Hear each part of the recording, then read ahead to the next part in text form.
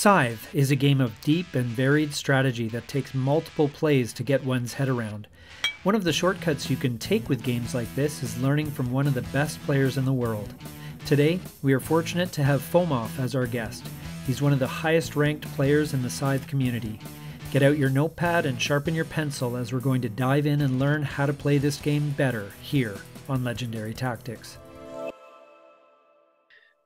All right, so welcome, FOMOF one of the one of the uh, resident experts of Scythe, uh, the board game. I'm so excited to speak with you and to and to go in depth a little bit on on how to play Scythe better because it's such a great game, but there's a lot to it. And so, uh, tell tell us a little bit about your experience with the game so far, what tournaments and you know just plays and that sort of thing.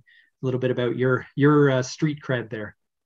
Thanks, thanks for the welcome, Nato. Uh, I got into Scythe probably between two and a half and three years ago now. a friend of mine brought it to my house, the physical version, and I loved it. Scythe has a very, in my mind, unusual combination of engine building um, with action selection, but combined with area denial. And the map itself is absolutely beautiful.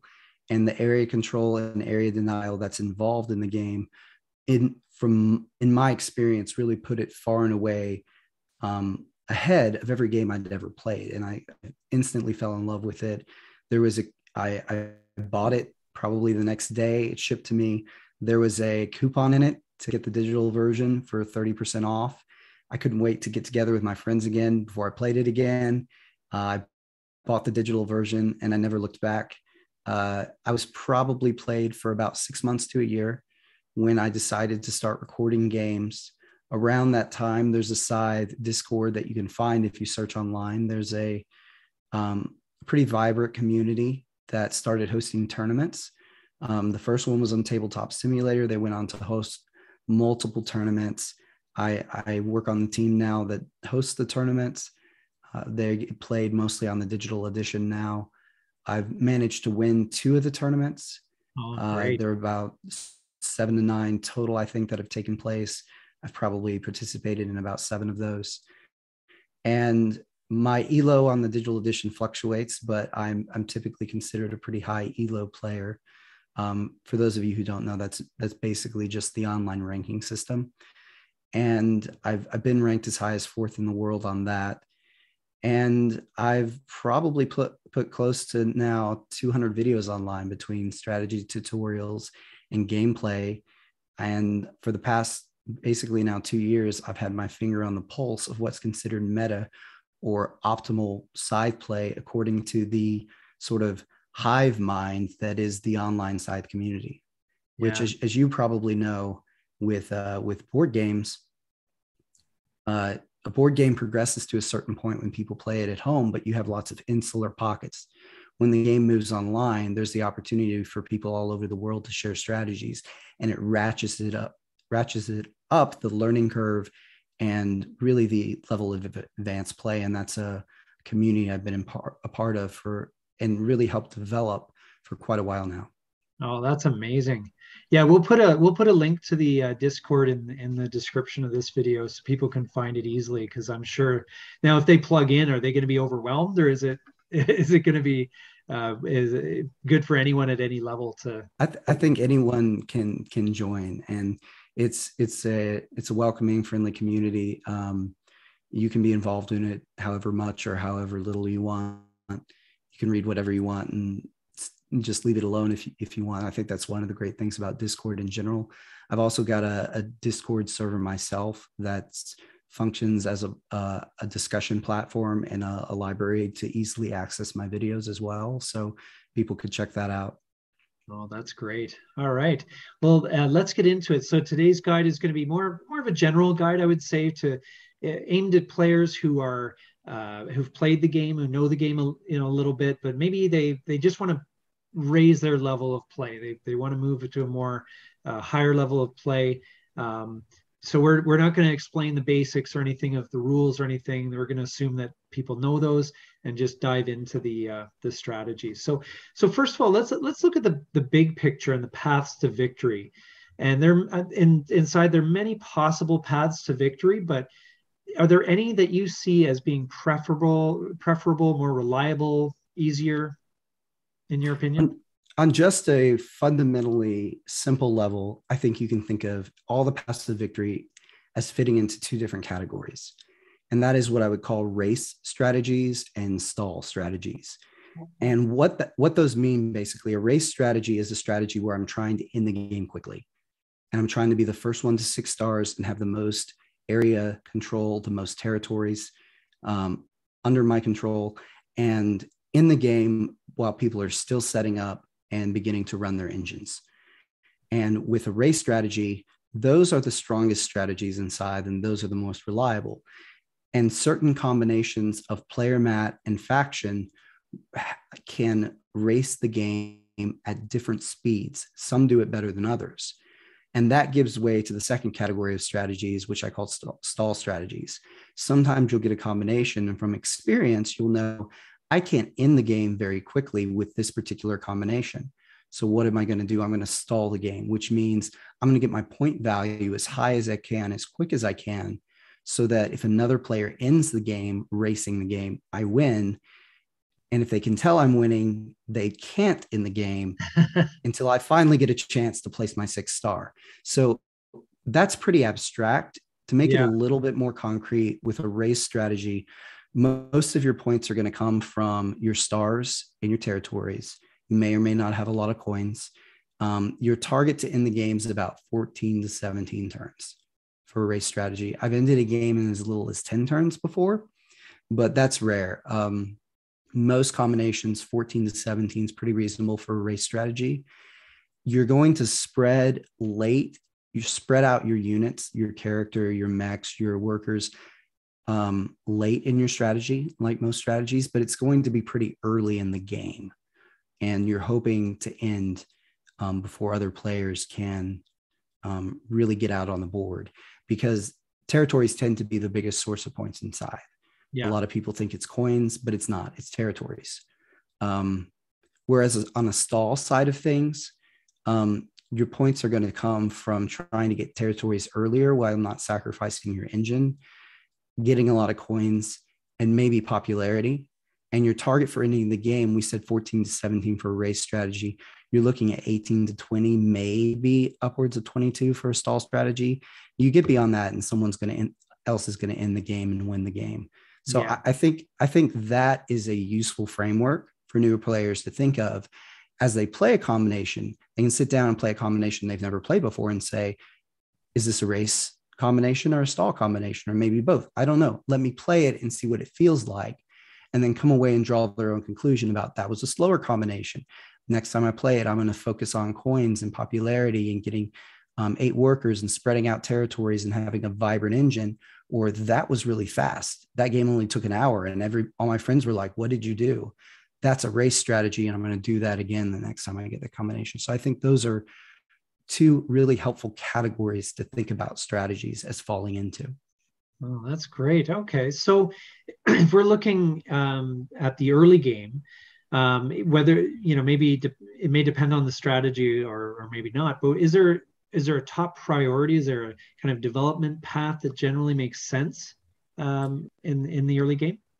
Yeah, I think the most important thing for players to do when they start the game is to to plan out what stars they're going to get, um, because any sort of path to victory is sort of paved through your stars. You don't want to start one star and then give half give up halfway through and start another star, because whether you're stalling or racing the game, Scythe is ultimately a game where you have a limited amount of turns. Any any sort of board game you play, there's some sort of abstract system of value that lies at its base. Maybe it's the currency, maybe it's it could be anything, but inside, like a lot of games, it's turns and it's an indeterminate number of turns. So you want to be efficient and you want to be quick. So it helps to plan your stars. If you don't mind, I'd, I'd just like to run down and give a quick sort of star priority what I sure. consider to be the best Absolutely. stars. That'd be great. Yeah. So the the first one I always list that might throw people for a bit of a loop is the worker star. And there are a few reasons for this. You're you're going to need at least five workers to run your engine anyway.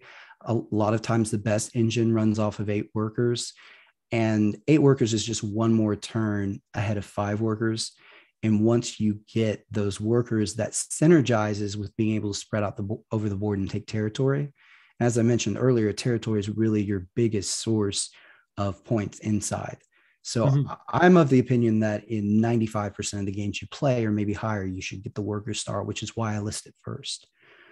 Um, the second star I would list is the enlist star. And this is a star that many people would list first because enlists are just so strong. Any of your viewers who don't already know this, you should go for all four enlists in almost every game because enlists, enlists are just completely overpowered. So for I'm sure your viewers are who are interested in scythe kind of understand how they work. Yeah. You uh, you do what's called a bottom row action, and you get a certain benefit. Well, it also works this way. If your neighbor gets the benefit, does it the bottom row action, you get the benefit as well. And you have in most games, if it's not a two player game, you have two neighbors. So the coin enlist, I get a coin every time a neighbor or myself makes a mech. Well, that doesn't seem like a big deal at first blush. I didn't think it was when I started Scythe. But if I get that coin enlist early and I get four coins from one neighbor for four mechs, four coins from the other neighbor, and four coins off my mechs, my mechs, that's 12 coins. And a typical rush strategy might end the game with anywhere from 50 to 60 points. So one bottom row action, one enlist could end up being 20% of your entire score in a game of scythe, which is just incredible. Yeah. Um, the other one that's really huge is the combat card enlist. Um, you can pick up upwards of 10, 11, 12 combat cards from enlist. And if you were going to bolster that many combat cards, it would take at least it would take something like six turns. You'd have to upgrade the combat card and then bolster repeatedly. So being able to get six turns worth of combat cards off one bottom row action is just incredible. And if you're going to get two, you might as well get four because yeah. that's going to help. Yeah, I so, guarantee you that beginner players undervalue enlist. I guarantee mm-hmm. that because they're just going for their mechs. They're trying to, you know, they're trying to, you know, they're doing all like they're not paying attention to that particular uh that benefit. But yes, enlists are huge. Yeah. Yeah.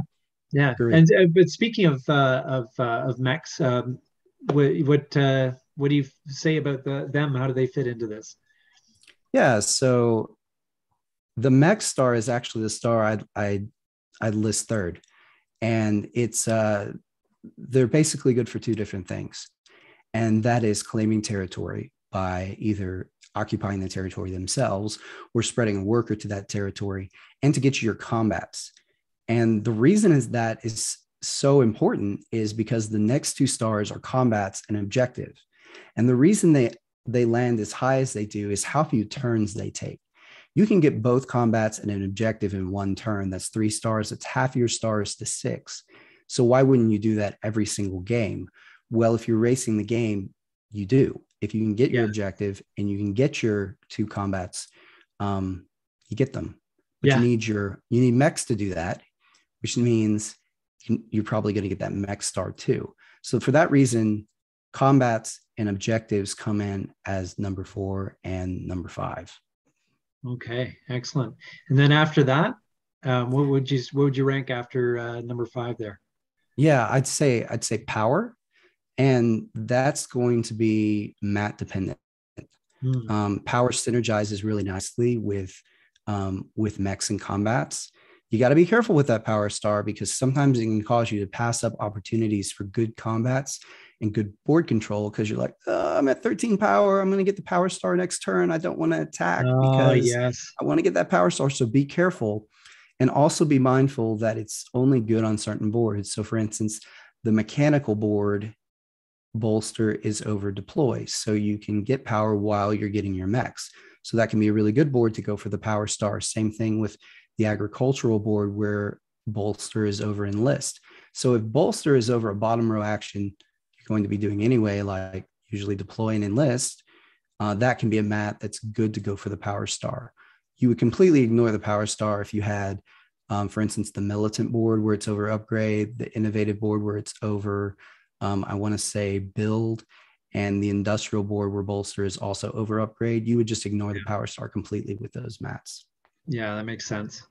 Yeah, and then uh, and then is there anything after that? Yeah, the next three in this order would be build, upgrade, and popularity. Mm-hmm. And build is basically a poor man's enlist. It mm. gives you a benefit for doing the top row action associated with it. So a monument gives you a uh, a popularity when you do the top row action associated with it, a power for the armory. The mine yes. just triggers when you move, um, but you don't get it for your neighbors. So build is a poor man's enlist, and yeah. there's this challenge with build is that you already have to have a worker there before you build. So you have to move the worker there, yeah. and then you have to build, which adds turns. So when you see building it usually happens with a board like industrial that puts the movement action over the build. So you can knock those two out at once. Um, another downside to building is if your neighbors are going for enlist and they get the popularity enlist, they could actually be getting more popularity than you off your building. oh no way! So you got to be careful. You got to be careful about building because sometimes yeah. you help your neighbors more than you help yourself. Um, the next two upgrade and popularity are kind of at the bottom for obvious reasons. Upgrade is the only bottom row action that takes six instead of four. Yeah. Um, mechs, buildings, enlists, they're all four. Upgrade is six. So it just takes a long time.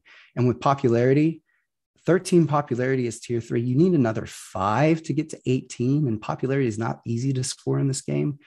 You basically never want to go for popularity unless it just happens. Like you get a factory card with Polania that gives you two pop, and then you get that encounter that gives you four popularity. So you picked up six on one turn, that kind of thing. Yeah. It can happen, but you almost never like plan to go for it.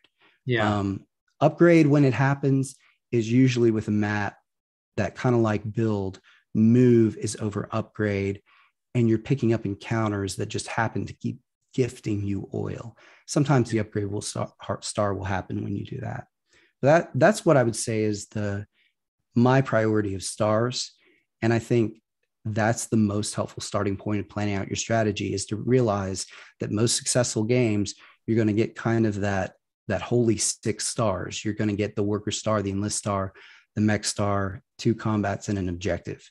Yeah. And the others can situationally be good, but those six kind of form the core of most successful games. Hmm. Okay.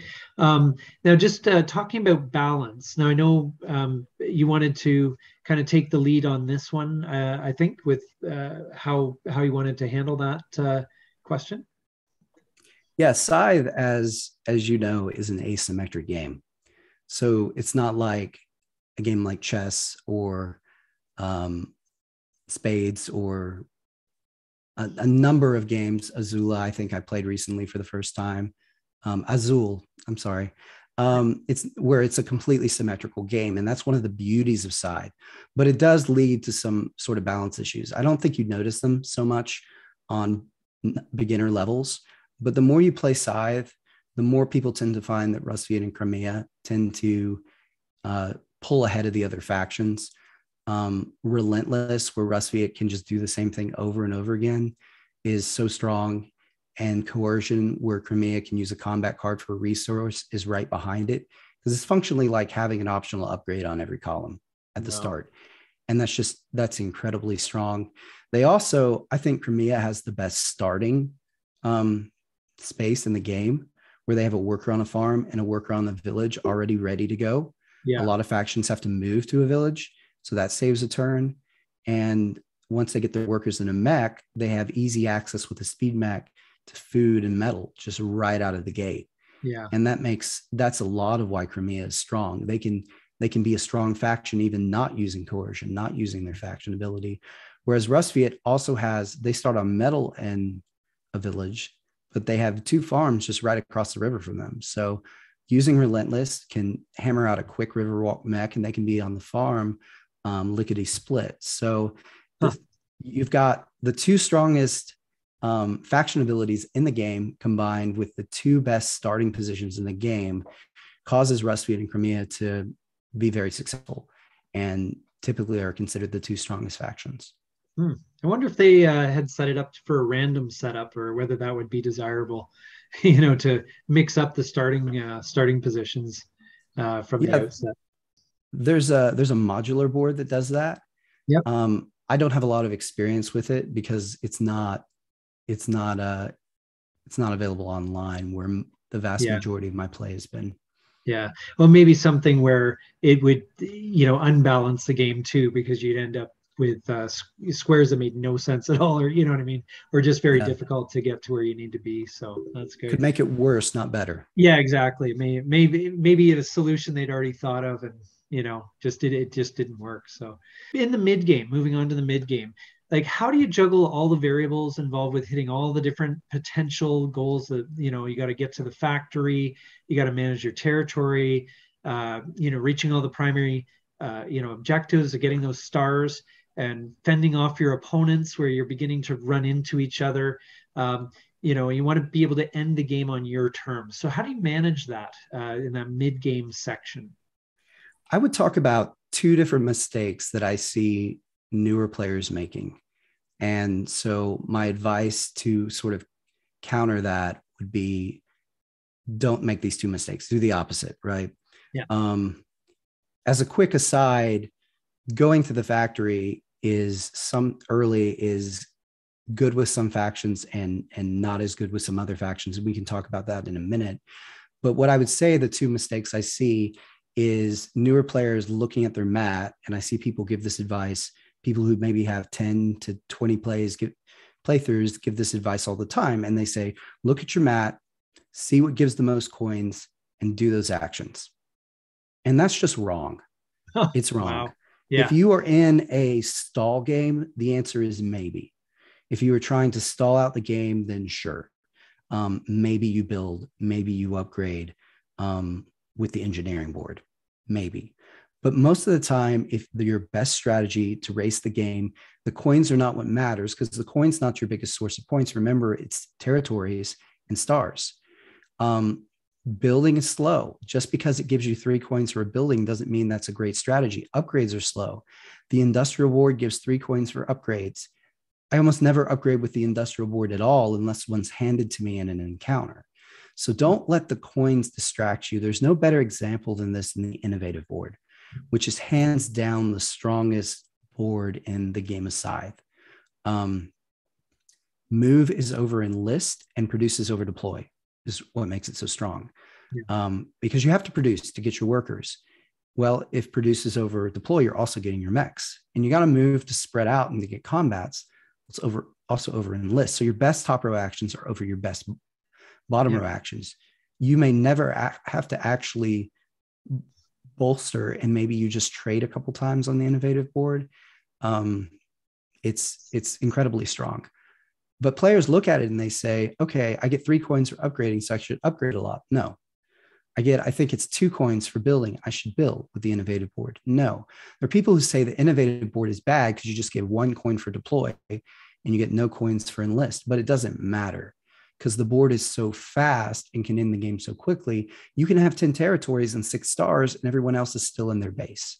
That's oh, wow. that's how good it is. So don't get distracted by coins the focus on your path to six stars and your path to victory the coins are a secondary consideration the coins will make a board stronger but they don't make a strategy stronger yeah so yeah no there's there's one more that i want to mention and some players will hear this and say well yes of course but i can't tell you how many people that i see who don't put enough workers on a particular spot to make enough resources for the bottom row action. So the patriotic board produces over enlist. I can't tell you how many times I've seen beginner players put one worker or two workers on a farm instead of the full 3 mm-hmm. So in general, distribute your workers to match your bottom row action costs. And when you look at a board, the first question that you should ask yourself when it comes to setting up an engine is do I do five or eight workers? As your viewers may be familiar with, five is the greatest number of workers you can have before you start paying popularity. And if you're going to get more than five, you might as well just have eight um, because eight gives you the star. Um, typically, five you go for if you're in a trying to get tier two or tier three in a race strategy, and eight is generally better than um, at running an engine just because you get more resources, even though you're paying popularity. Um, so make sure when you allocate those workers that you're putting enough workers on there for at least one bottom row action. Sometimes it can be helpful to overproduce resources. So for instance, on the patriotic board, if I'm Rusviet and I put seven or of my workers on food and I produce twice, well, now I've got enough food for the other two enlists I haven't done yet. I can move off food and put them on something like metal produce metal and keep doing enlists because I've produced extra food. So always be sure to put enough workers on a spot to do at least one bottom row action, and don't be afraid to do at least more, even even more than that. It's a it's a basic tip that I think newer players really up their game and reduce the number of turns they have to take significantly by by doing that. Yeah. So uh, so once again about uh, about conflict and how you how you see that fitting into uh, the game and, and what's its role? So, a lot of people complain that Scythe is essentially a game of solitaire, where everyone's doing their own thing around the table.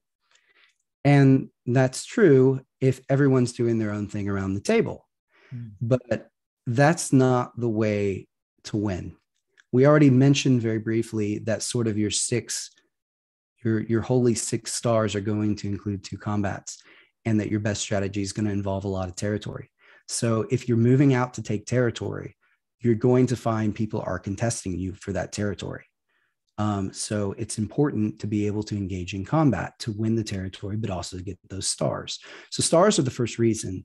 Um, stars and territories are the first reason you would have conflict in the game of Scythe, and the reason that people who ha- initiate conflict will win in the game of Scythe over people who just play solitaire most of the time. The second reason is disruption. So, what you will find as you play Scythe is certain combinations have better economies than other combinations. Rusviet Patriotic has a tremendous economy. It gets a lot of coins, it gets a lot of power, it gets its mechs and enlists very well. Nordic Industrial has a terrible economy, but Nordic Industrial can be a very strong combination because it can be very disruptive. It can uh, get to the board middle of the board quickly and get a factory card. Hammer out those mechs and those workers very quickly because produce is over deploy. Use a bottom row action factory card to make up for that bad economy and find itself very early in the game just having to factory card and move, factory card and move for the rest of the game. Wow. And at that point, you're in a position to get your combats, to get territory spread, get way ahead of points. And even if you're low on power, by repeatedly attacking people, eventually you're going to win. So you can do that to disrupt their economy as while you're spreading out and taking points. So if you play a combination and you try to run an economy game and you say, this is just terrible. I can't make this work. Think about how you can be disruptive with a combination and, and get out on the board, get a factory card, and uh, that has a bottom row action on it. Because typically, if you're going for those six stars, you need the two combats, the objective, the worker star, and then you need two bottom row action stars. Mechs are almost going to be one, and then your factory card can give you the other if your combination has a terrible economy. So being disruptive is is a great equalizer inside between sure. combinations that have good economies and combinations that without being disruptive just can't compete. Yeah, yeah. Um, any other considerations about uh, with regard to combat? Yeah, I think it's really important to uh, to bluff combat. I think newer players tend to go all or nothing. Um, Twelve is the magic number to win a one v one. Uh, one is what you throw or a two card if you're just looking to cycle cards or get another combat card. Um, look for different ways to get combats by bluffing. It might mean a Saxony that you bring three units and attack with three units, but then just throw a four card so someone yeah. who thinks I can't win this fight throws off and loses, and there you just got a cheap combat, which can be yeah. huge to Saxony. Um, similarly, look to call a bluff now and again. One thing I like to think about is, um, and and we did a, a Saxony tutorial on my channel the other day, and just kind of with me and another Scythe player who's who's quite good. Um, just back and forth, he used the word tax Sometimes combat is a tax on the other player. So Yeah. I might go in and I'll throw seven. And I don't throw seven because I think seven's going to win. I throw seven because I want to drain at least eight off that other player Yeah, yeah, yeah. because I know that's going to put me in a, in a good position. Take the example Nordic that starts with four power and one combat card. If I attack them and I throw four, that means they've either got to use all their power and their card to win, Yeah. or they've got to use their card and it has to be a five card to win. So I, I either got to combat for four. I mean, their their limit is nine, right? They can play up to nine. So if I throw four, there, I can't guarantee that I win, but what I can guarantee is they have to either spend all their power or their card or both to win. And then I can come back and get cheap combat subsequently. So it's important to bluff. It's Yes. also important to think of spending as a tax. Not, not every loss is bad. Sometimes throwing a medium amount of power in combat cards, even if you lost, can be a good thing because it forced your opponent to put themselves in a worse position than it forced you into. Yes. We've all made that mistake. And the first time we played Scythe is go all in on a battle, and then everyone else moves in because you've spent all your your your power and combat cards. You're totally vulnerable. So, yeah. Just get mopped up. Yes, absolutely. So, um, shifting to uh, resource management, how do you view that in the game? I mean, I love how Scythe handles the resources and and in general, but you got to be like a lot of these type of games. You have to be efficient. It's the name of the game is efficiency. So, how do you make sure that you're not wasting any actions and you have all your bases covered at the same time? Yeah, with uh, with resource management, I first point back to our previous discussion about lining workers up on hexes in such a way that you are getting enough resources or more resources than you need for the bottom row actions. So that's the first thing to think about. The second thing to think about is how you're going to protect those resources. Because there's nothing that speeds up an opponent's game and slows down yours like getting resources stolen. So you have to have an idea, say you're Albion. Well, where do I want to pr- produce my resources? If I moved out to that mountain tunnel and then Saxony hits me and uses disarm and I just lost all my metal, well, that sets me back and helps them. Yes. So I might want to make sure I'm producing on the mountain next to my base and staying on my back line. So it's important how many resources you're producing. It's also important where you're producing and where you that you're producing in a place that you can defend them. yeah. Um, one of the points I'm going to make about this is Scythe is a game that rewards two things.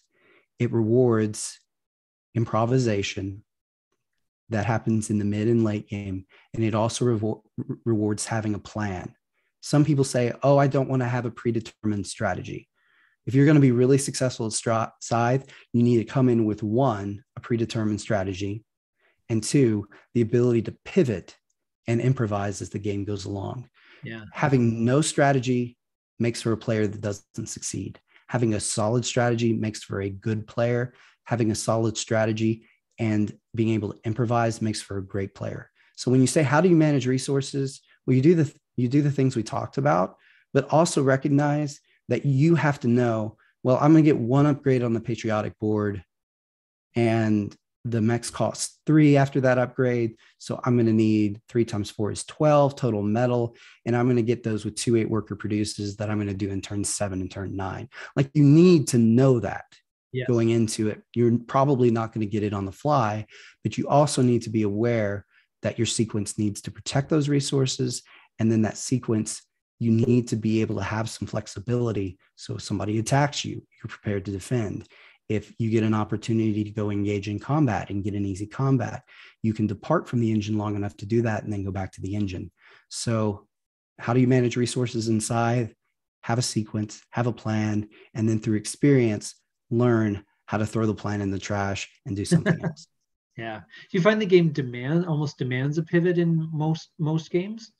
Um, because in uh, in a classic Euro, you have that moment between when you have to decide to give up on engine building and switch to gaining victory points. Right? There's always that that balancing point. Is there something similar in Scythe?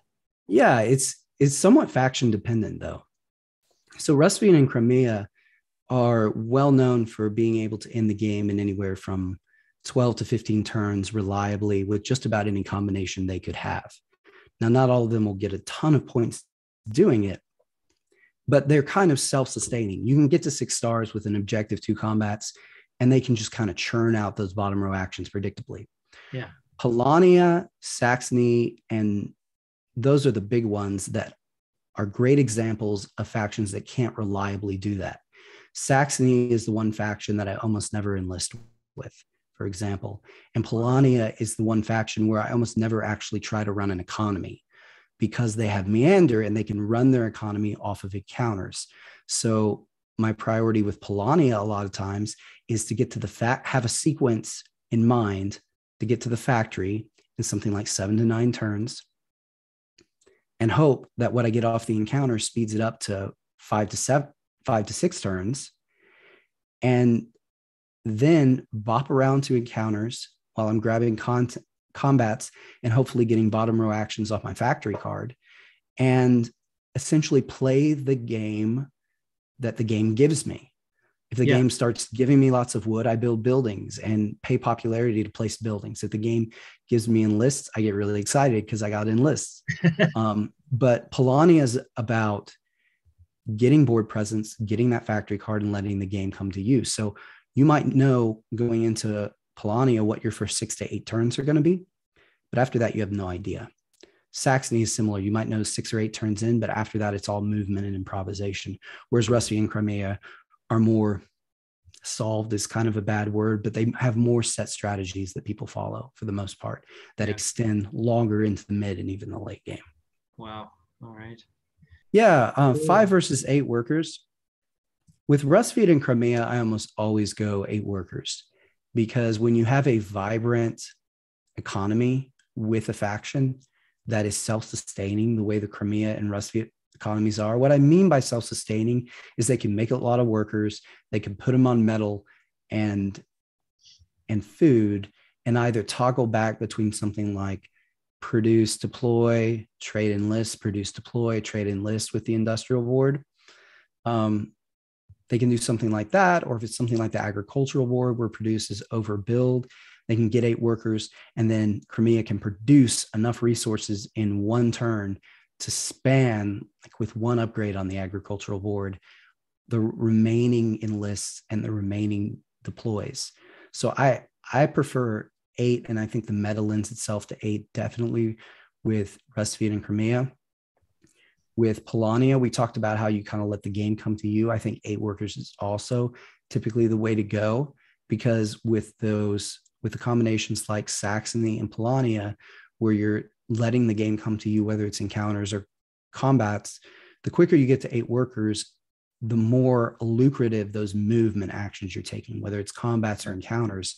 If you're dropping workers along the way and clogging up the board for your opponents, it's that many more points.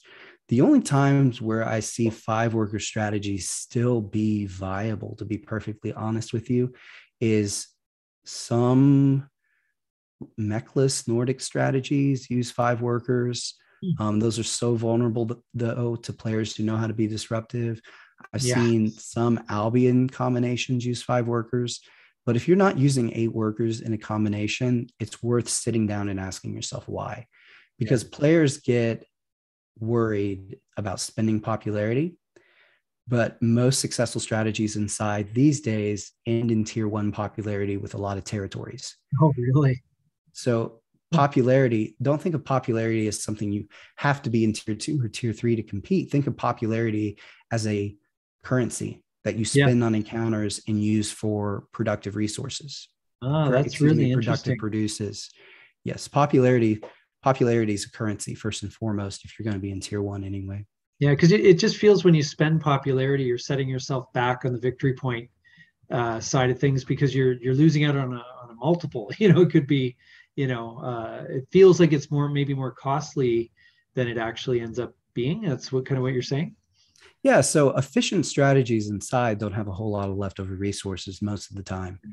so it, can happen but let's put that off the table for a second so going from tier one to tier two means a star goes from being worth three to four. So that's a 33% increase. And a territory goes from two to three. That's a 50% increase. So yeah. that's not insignificant.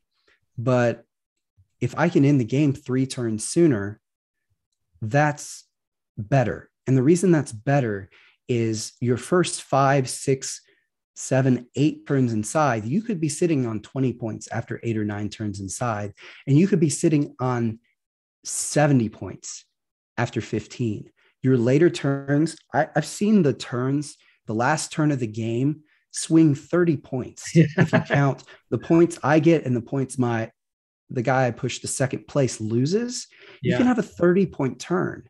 So at the end of the game, turns are so much more valuable. So if I have 10 territories and I go from tier one to tier two, I gain 10 coins.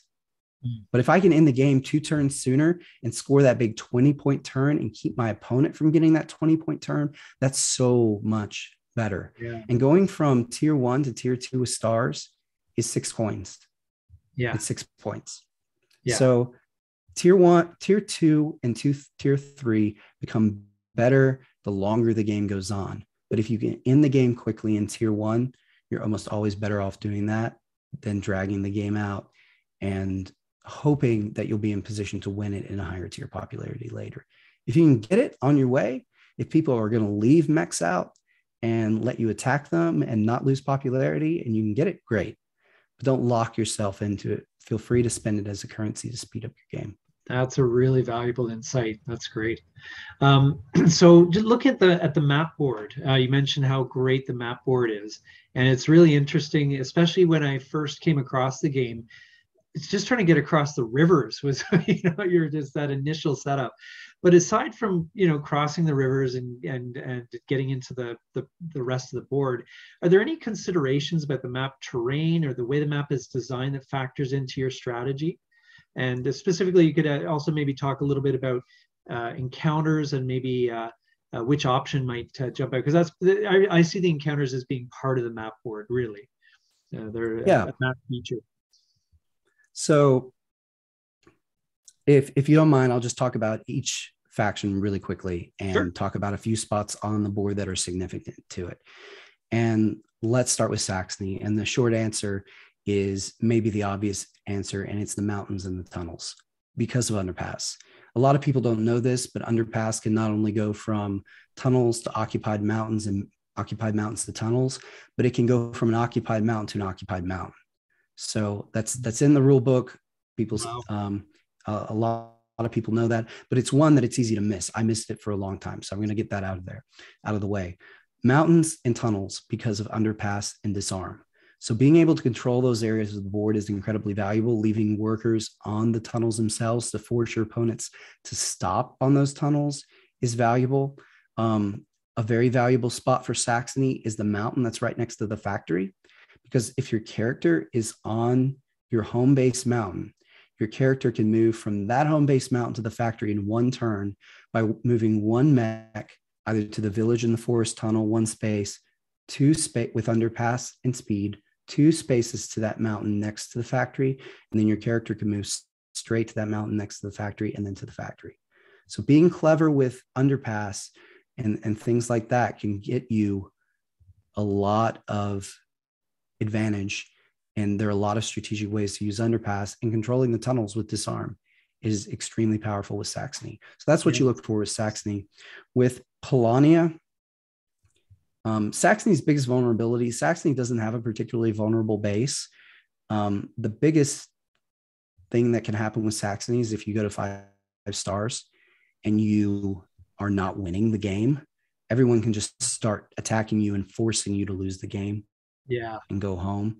And once they cover those tunnels, suddenly you can't come back and take the tunnels because you take a combat and lose the game. Yeah. Um, so your tunnels can betray you as Saxony. It's your biggest vulnerability spatial wise with Polania, um, Polania's got the advantage of being having that village to be two an encounter to be two spaces away from the factory, and having a lake next to the home base that they can submerge out of. Mm-hmm. So the quick path to the factory and that lake are perhaps the biggest areas for Polania. Um, as far as vulnerability, Saxony can invade their forest, and Crimea that if they're on that farm tunnel can actually use their river walk to invade Polania's base as well. So Polania can invade every base and can be invaded by every faction. Oh wow. Um, Albion's just kind of vulnerable everywhere. They've got licks all over themselves. If Polania is in the game and you're Albion, you're in for a world of hurt. Yeah. Um, the strength of Albion territory wise is once you get somebody on that, um, once you get say a flag and a worker on that village, and you you can essentially form, you know, like like the 300 where they just kind of all amassed in a narrow channel. You can do that with Albion. There's really only one way into your base if you're not a lake faction. Yeah. And you can force a Saxony to have to come through three different mechs and kind of gobble up territory between the hexes and the flags while keeping a very, very strong, very concentrated force. Yeah. Nordic, um, like Polania, has that quick little two hop from that mountain to the factory. So getting the seaworthy mech and the speed mech, like Polania gets speed and submerge, can get you to the factory pretty quickly. Um, the other place to note at, with every game with Nordic, you have to decide which village you're going to use, um, which can be challenging. If Albion's in the game, if Rusviet's in the game, if both, you can use the village tunnel in some strats and even the village encounter near uh, Crimea and Saxony in some strategies but you got to think about what village you're going to use and how and when you're going to get to the factory as Nordic. Um, Rusviet, it's because of township, it's a village next to your base. Because of enlists, it's the farms to the north of your base. Your biggest vulnerability as Rusviet is the lake to your south. Yeah. And you got to watch for a clever Polania to submerge into that early. A turn five factory Polania is terrifying with most Rusviet mats because yeah. you know with that factory card they can hit your base the very next turn. Yes. So, wow. And then that just leaves Togawa. Togawa, you got to protect stuff with traps because you've got that that tunnel right next to your territory, and there's that mountain right next to your territory. So Saxony can actually take one mech to that village tunnel and then bump workers off that mountain. And then they could take another mech from their home base mountain to that mountain and then hit any hex in your territory for a combatter to steal resources. So yeah. you're, you're, quite, and you've got a lake, so you're quite vulnerable as Togawa, which you know you got to make the most of those traps. And Crimea has um, two spaces to think about. They've got a lake next to them. You got to worry about Polania. Yeah. But the other place, Crimea is one of the only factions, if not the only faction, that only has one exit point, and that is that oil tunnel so, I mean, you have Wayfare, but if you're wayfaring to get out of your base, you're in trouble. Yeah. because um, central board control is so important. Yeah. So you've got to be cognizant of that oil tunnel. Um, try to anticipate if someone's going to block it. That's a great strategy to slow Crimea down is block that oil tunnel, which is why you'll often see Crimea players build a mine on that mountain to get out. Um, so just kind of that would be my rundown of kind of the spaces on the board that each faction wants to think about when planning their strategy or anticipating what other factions are going to do. Yeah. Okay. Wow. And then with the encounters as well, how would you, what, what thoughts do you have on those? Yeah, encounters are really strong early game. Uh, so, for example, if I have two workers and I produce, I can get two resources, or I can spend the coin trading and get two resources. If I hit an encounter that gives me five resources for three popularity, that's like two and a half turns right there. Yeah. I mean, that's that's huge. Yeah. Uh, but if I've already got all my deploys and all my enlists and I'm just hunting for combats, I mean, what are resources going to give me off an encounter? Not much. I mean, mm-hmm. four resources for two dollars in tier one's a wash. And resources can get stolen where coins can't. Yeah. So don't overvalue encounters in the mid to late game unless you're the exception to that is you're either Polania with Meander, so you're using a factory card with a bottom row action and hoping to get a second bottom row action off the encounter, or you're, say, Nordic with a bad economy mat and using a factory card and just praying that those encounters give you what you need.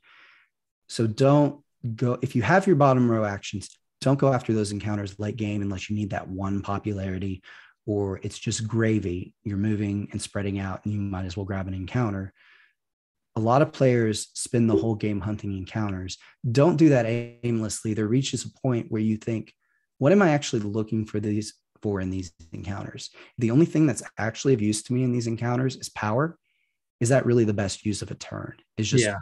hoping I get power.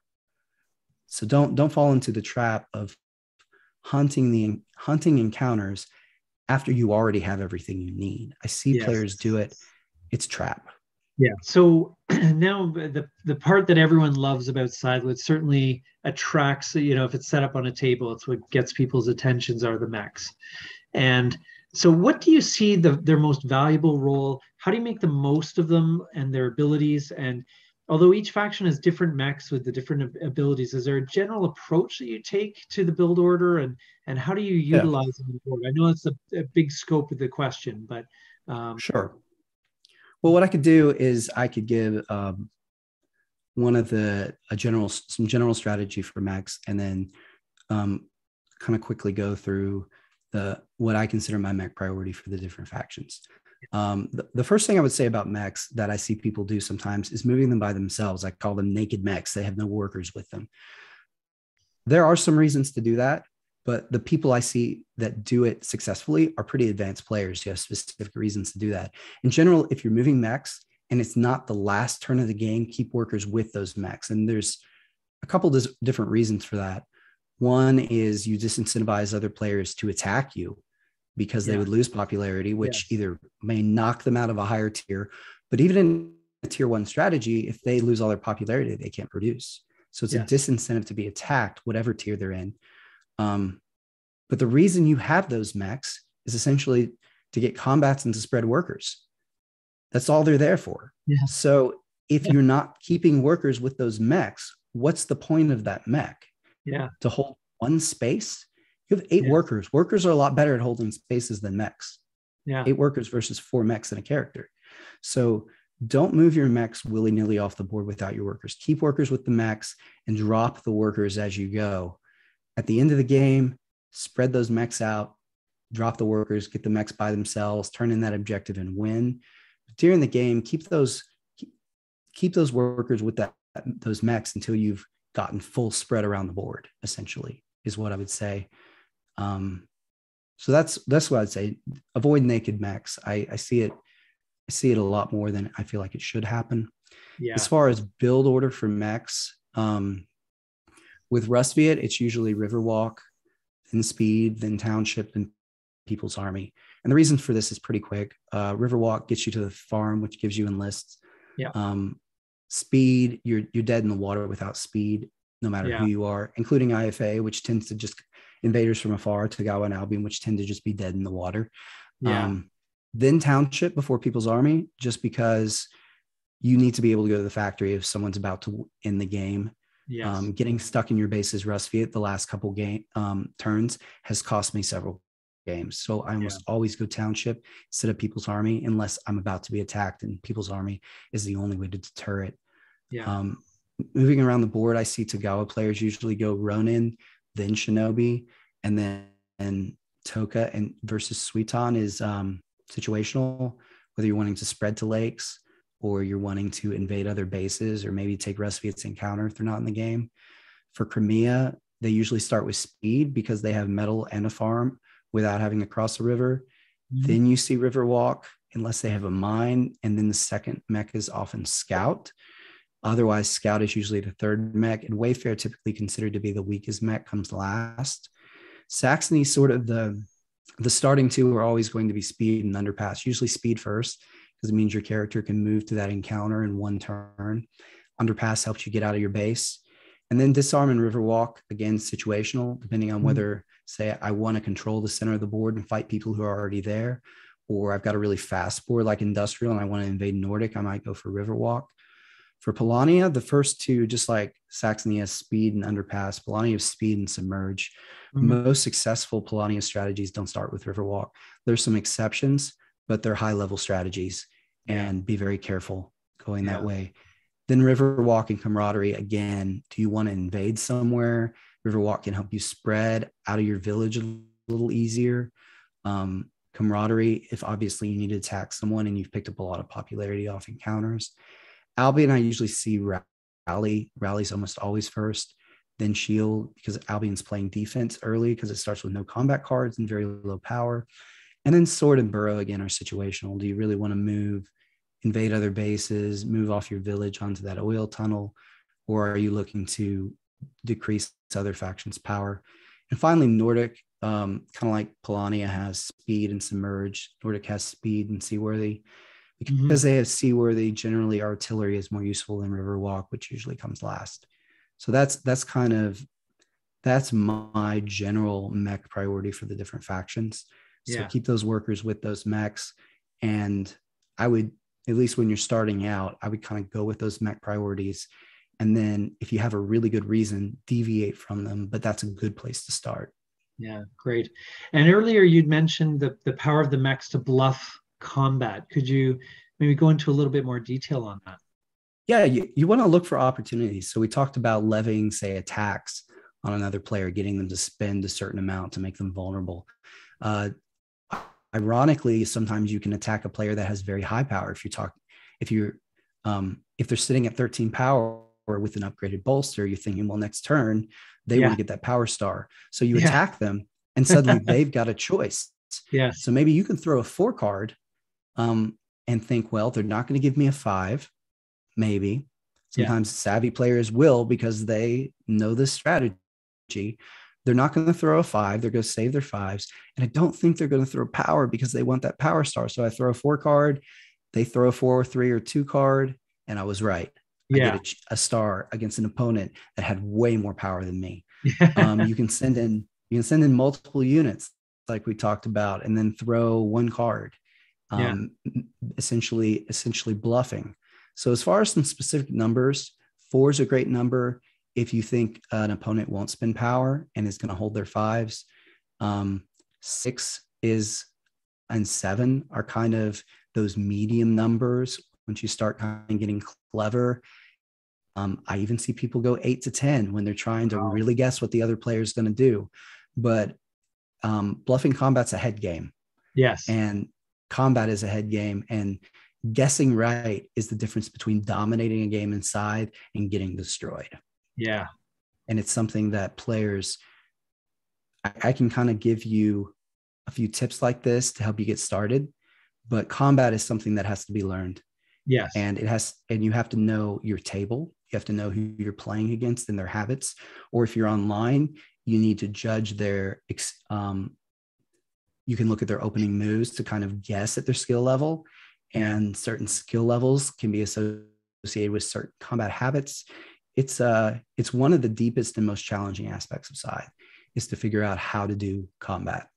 Yes. And i bet you there's a lot of beginners that feel it's more luck based than anything else.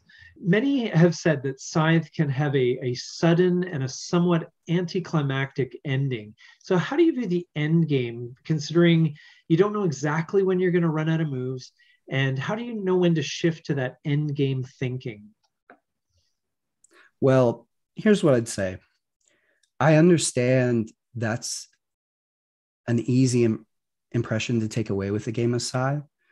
But as you play more and you get better at the game, I think you will come to agree with me that if an ending surprised you, it's your fault. Mm. Because Scythe is not a game of perfect information. It's a game of near perfect information, though. You can see everyone's map, you can see everyone's pieces. The only hidden information is combat cards. You can even see their power. Combat cards and objectives um, are, are the only hidden information. So it's a game of near perfect information. So what do we do? We assume the other player can get their objective, and we assume they have good combat cards, unless based on previous behavior, we really think they don't. And we look and say, I know everything else about what they have. I can kind of look sideways and count the coins sitting on that mat while they're taking their turn. Not on my turn. You don't you don't count up points on your own turn right? Yeah. that's in the rule book. You can but you can count points on other people's turn. There's nothing wrong with that. Um, you can look and say oh wow they have their deploys and their enlists and their mechs do they have combat opportunities on the board are there players they can reach that they can win combats against i'm going to assume they can get that objective can they end next turn if they can what is my point maximizing play yeah. Um, I've seen countless incredibly dramatic finishes in Scythe. Yeah. Uh, where a player attacks another player and throws zero to send that player to six stars.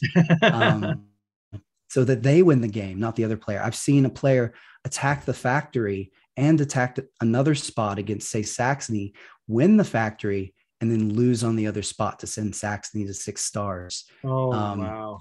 Perfect timing. leveraging the leveraging the factory to put them over the top, and then yeah. force the other player to win to win uh, to end the game so they can win the game. Scythe has a lot of dramatic ways to end the game.